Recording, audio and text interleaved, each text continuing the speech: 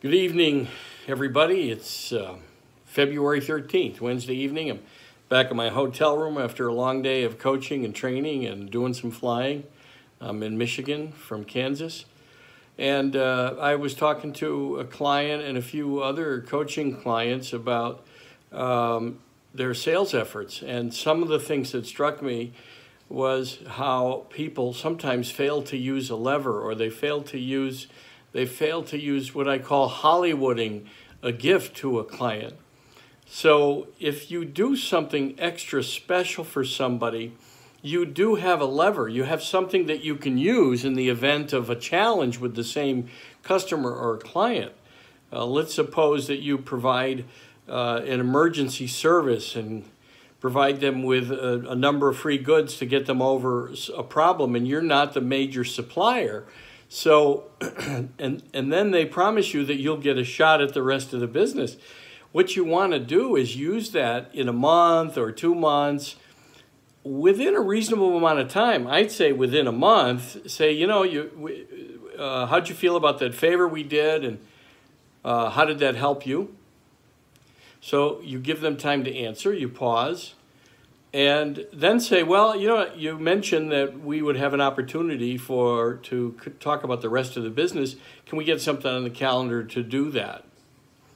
And then you might want to bring your boss along or some other uh, officer of the company because it's important to bring different layers in. Uh, people need to meet. Make, uh, the word is make more touches today with management. It's important for customers to do that. Most salespeople are resistant to it because they, they it's my customer. I want to keep management out of it.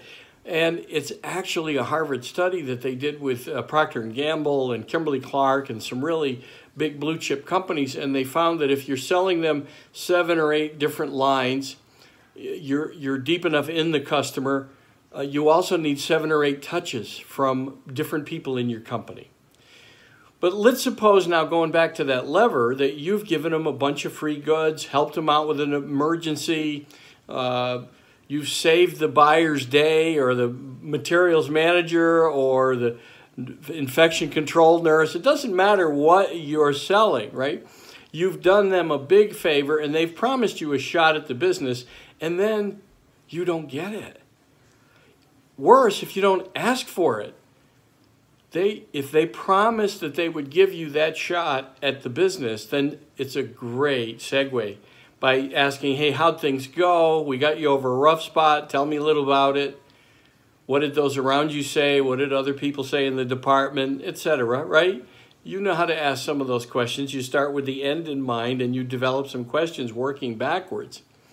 And you're not tricking anybody. They promised to give you a shot at the business, and so your goal is to start with how they felt about it for a reason because they're going to hear themselves say you know i like to i like to help people hear them say with their own words that they need you or not.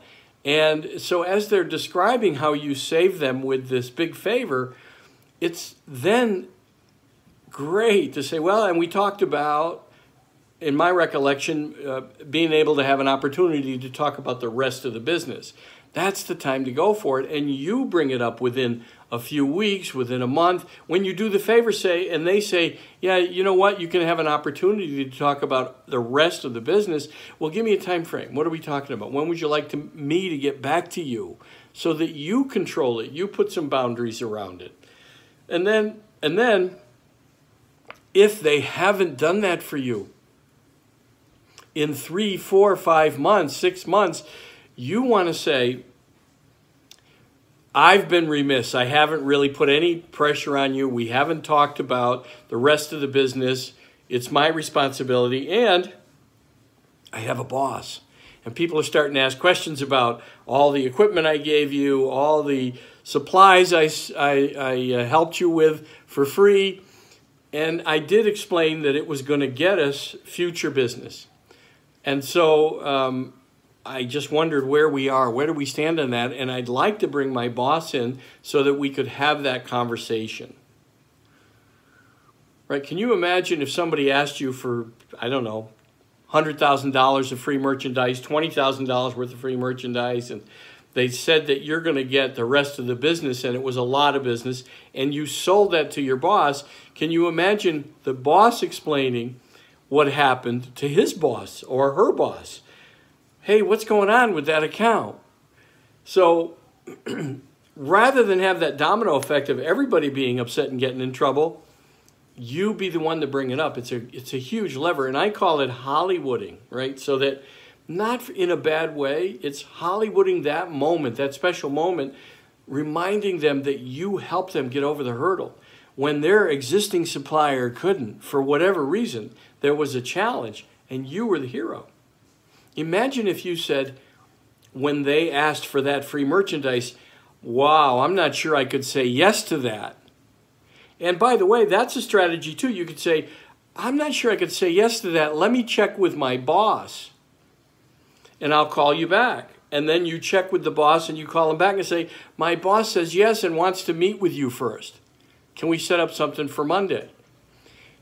So you slow it down. You're not saying no, you're saying, I wouldn't be able to say yes to it. I need to check with my boss. Then you call him back and say, Yes, we can do it. And what we can say yes to is my boss wants to meet first, and then we can provide what you need. We're glad to help you. So if they say, well, we need it right away, we'd like an answer today, great, let's get on a conference call right now so that you get people that can help you make that commitment. Some salespeople feel uh, they feel confronted, they feel challenged by by uh, asking customers for for the other end of the commitment because they feel like the customer will get upset and they'll blow the whole deal. Well, there's a reasonable and fair expectation for when you give the favor, when you give the supplies, when you give the equipment. There's a reasonable expectation. And if you don't ask it, they're not going to bring it up. Typically, not going to. Because of change, change itself. Making a massive change is much more difficult than making a small change. If you save them from something, now guess what? They don't have to make the change. You save them from something. So it's not a priority unless you make it one. And it's fair. It's fair. And the way you frame it is important. If you need help with that, call me. I'm glad to help. Reach out to me on my website. My email is steve at stevelentini.com, L-E-N-T-I-N-I.com. Great selling. You know I like to help people win. In fact, I love it. It's my it's my passion. Good night.